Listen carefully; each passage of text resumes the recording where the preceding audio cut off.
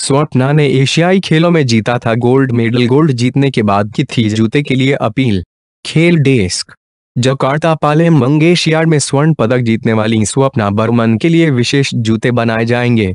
स्वप्ना के पैरों में छह छह अंगुलियाँ हैं। अब वो कस्टमाइज जूते पहनकर विभिन्न प्रतियोगिताओं में हिस्सा लेगी। इसके लिए भारतीय खेल प्राधिकरण, साई, ने खेल सामग्री बनाने वाली कंपनी एडिडास से करार किया है।